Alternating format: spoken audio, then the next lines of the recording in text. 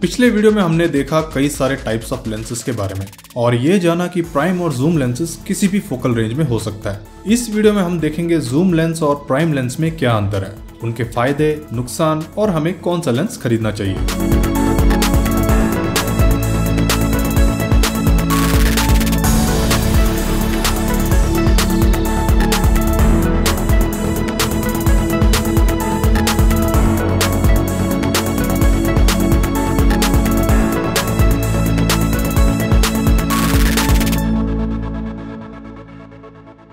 स्वागत है दोस्तों आप सभी का आर्टिफिलिया डॉट नेट चैनल में। मेरा नाम है अनिल और आज हम डिस्कस करेंगे zoom lens versus prime lens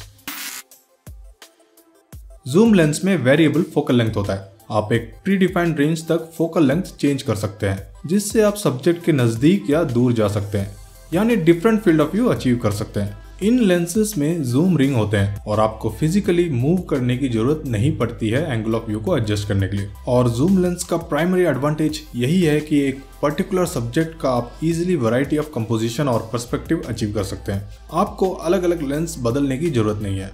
subject का पर्सपेक्टिव आप इजिली बदल सकते हो इधर बाई जूमिंग आउट या सब्जेक्ट के करीब जाकर। जूम लेंसेज ऑलमोस्ट हर फोकल रेंज में अवेलेबल हैं। ट्रैवलिंग फोटोग्राफर्स जहाँ चार पाँच अलग अलग प्राइम लेंसेज कैरी करते हैं वहीं एक जूम लेंस आइडियल चॉइस है, क्योंकि आपको मल्टीपल फोकल रेंज एक ही लेंस में मिल जाती है। दो टाइप के जूम लेंस होते हैं variable aperture zoom lens constant aperture zoom lens variable aperture zoom lens में अपर्चर वेरी करता है। आप जैसे जैसे जूम करेंगे, यानी फोकल लेंथ जैसे जैसे बढ़ता जाएगा अपर्चर कम होता जाएगा। जूम लेंसेस में अपर्चर का भी रेंज दिया होता है। जैसे कि कैनन 1855 mm किट लेंस में मिनिमम फोकल लेंथ यानी 18 mm पर f 3.5 अपर्चर मिलता है। और जैसे जैसे जूम करते हैं, इसके मैक्सिमम फोकल लेंथ 55 mm पर अपर्चर नैरो हो जाता है, f 5.6 तक। यानी मैक्सिमम फोकल लेंथ पे आपको वाइड अपर्चर नहीं मिल पाता है। और वहीं कांस्टेंट अपर्चर जूम लेंस में अपर्चर कांस्टेंट होता है throughout the focal length constant aperture zoom lens variable aperture zoom lens के मुकाबले महँगे होते हैं।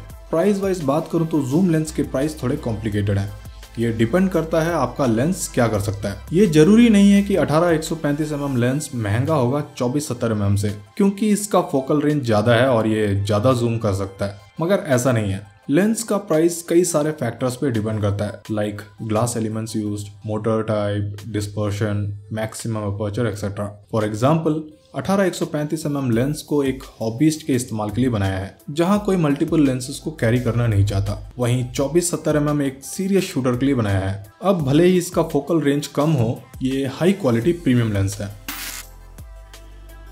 जूम लेंस के एडवांटेज है flexibility in focal length convenient होता है कोई भी शॉट लेने के लिए। आपको सब्जेक्ट को फ्रेम करने के लिए आगे पीछे मूव करने की ज़रूरत नहीं। जूम लेंस सेव स्पेस क्योंकि ये बाकी के सेम फोकल रेंज के लेंस को रिप्लेस करता है। इनका डिसएडवांटेज ये बड़ा और हैवी होता है। ज़्यादा ऑप्टिकल एलिमेंट्स और ग्लास की वजह से डिस्टॉर्शंस और एबरेशंस का रिस्क होता है। प्राइम लेंस वो होता है जिनके फोकल लेंथ फिक्स्ड होते हैं। यानी अगर आपने 50 एम mm लिया तो आपको केवल 50 एम mm पर्सपेक्टिव ही मिलेगा। इन लेंसेज में जूम रिंग नहीं होता है, आप केवल एक ही फ़ील्ड ऑफ़ व्यू ऑप्टेन कर पाते हैं। और अगर आपको वाइड शॉट या क्लोजअप शॉट लेना हो तो आपको फिजिकली सब्जेक्ट के पास या दूर जाना होगा। प्राइम लेंसेज ऑलमोस्ट सभी प्रकार के फोटोग्राफी में काम आते हैं। लेंस मैन्युफैक्चरर्स अलग अलग फोकल लेंथ के प्राइम लेंसेज मैन्युफैक्चर करते हैं। जैसे कि 16 mm, 24 mm, 35 mm, 50, 70, 100, 400 एक्सेट्रा आपको ऑलमोस्ट हर फोकल रेंज के प्राइम लेंसेज मिल जाते हैं एक वाइड एंगल से टेलीफोटो तक।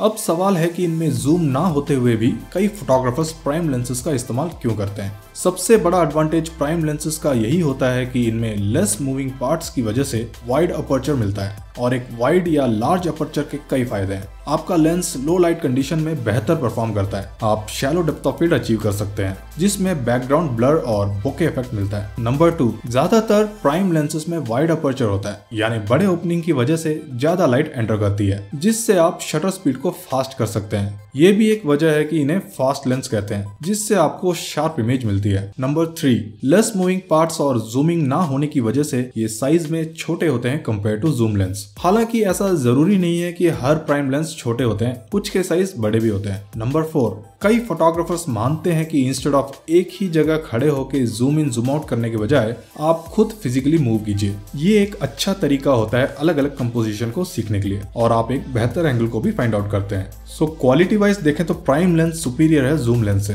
क्योंकि प्राइम लेंस में जो ग्लास इस्तेमाल होता है, वो काफ़ी प्रिसाइज होता है और एक अच्छी क्वालिटी और शार्प इमेज प्रोवाइड करता है। इनके एडवांटेज है number one sharp image produce करता है क्योंकि सिंगल फोकल लेंथ की वजह से कम ऑप्टिकल एलिमेंट्स और ग्लास का इस्तेमाल होता है। नंबर टू वाइड अपर्चर मिलता है, जिससे लो लाइट में बेहतर परफॉर्मेंस मिलती है और आपको आईएसओ बढ़ाने की ज़रूरत नहीं होती। नंबर थ्री मोस्टली ये लाइट वेट और कॉम्पैक्ट होता है। नंबर फोर मोस्टली ये सस्ता होता है बट ये डिपेंड करता है lens to lens and number five good learning factors and helps in understanding compositions इसके डिसएडवांटेज है lack of versatility and flexibility I hope आपको ये वीडियो पसंद आया होगा। करंट मार्केट में पॉपुलरिटी के हिसाब से कुछ रिकमेंडेड लेंसेज के लिंक्स मैंने डिस्क्रिप्शन में दिए हैं। आप उन्हें परखिए और चाहे तो परचेज कर सकते हैं। अपने नेक्स्ट वीडियो पे हम डिस्कस करेंगे लेंसेज पे जो नंबर और लेटर्स होता है उनका मतलब क्या होता है। सो so, इस चैनल को सब्सक्राइब करना मत भूलिए और बेल आइकन ज़रूर दबाएँ ताकि मैं जो भी नया वीडियो अपलोड करूँ उसका नोटिफिकेशन आपको मिल जाए। धन्यवाद आपका अपना कीमती समय देने का। फिर मिलते हैं नए वीडियो के साथ। Bye bye take care